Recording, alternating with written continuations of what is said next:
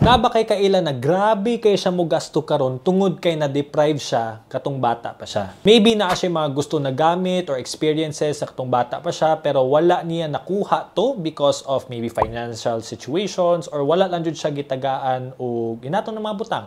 And karon nanana siya pamaagi to generate income pinaagi siya pag empleyado or negosyo ba niya Then, grabe kay siya mo gasto karon na to a point palit siya mga dulaan, palit siya mga butang na makapalipay niya. I would say in the short term, okay siya.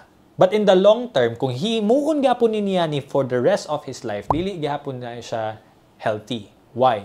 Chances are kaning mga butang na imong gipangpalit kay dili jud siya ingon nag-appreciate in value. Meaning to say, you would have to work forever para lang nimo ma-experience na siya. Ang amuang gihimo para ma-enjoy na mo ang amuang life karon sa mga butang na wala na mo nagasto sa una na nakuha na namo karon. At the same time okay pod amuang kahimtang in the future or we are preparing ourselves for the future. We are having a good financial management system na gi-implement. We call this the 40 30 20 10 rule.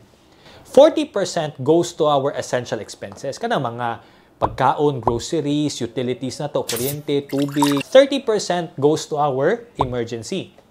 In kaso lang na mahitabo sa tuwa na dili na to gusto mahitabo, at least we are financially prepared.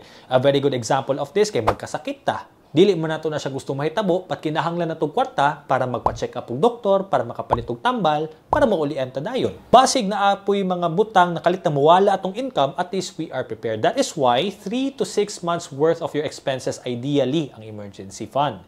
So kitahay mo expenses on a monthly basis is 10 mil, you multiply that by 6, dapat naa kay 60 mil sa isa ka bangko para in kaso lang na may tabo na kay kwarta na mabunlot nimo magamit nimo dito. 20% goes to investment. So mo na siya ang kwarta nagatrabaho sa imuha instead of you working for money. You may be investing in the stock market, REITs ba, MP2, digital savings account, cryptocurrency, etc.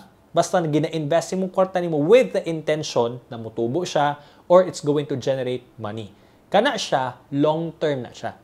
And lastly, 10% goes to desires, mga luho nato. Katong mga gusto nimo na gamit, mga gusto nimo na experiences, asa nimo kuha ng budget dito sa desires.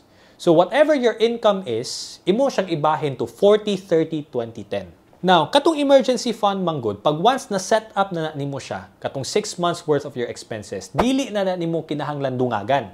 So katong 30% na allocation, pwede na nimo na siya ibahin sa laing butang. In our case, 50, 30, 20 na siya.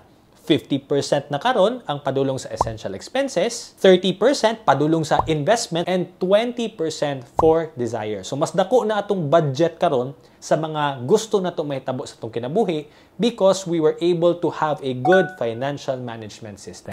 Unsa ba imuhang thoughts about grabe mo gasto karon tungod kay na-deprive siya katong bata pa siya? Share your answers in the comment section.